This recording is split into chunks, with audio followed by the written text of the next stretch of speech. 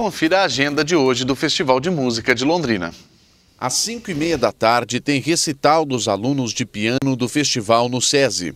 Às quatro da tarde e seis e quinze tem a apresentação do mais famoso musical da Broadway, no Teatro Zaqueu de Melo. O jornalista e escritor Domingos Pellegrini apresenta poemas sobre o cadeião a partir das seis e quinze no Centro Cultural. Tem Hora do Choro a partir das oito e meia no Teatro Cristal. Quem gosta de jazz e outros gêneros musicais não pode perder a apresentação desta noite a partir das 10 horas no Bar Valentino.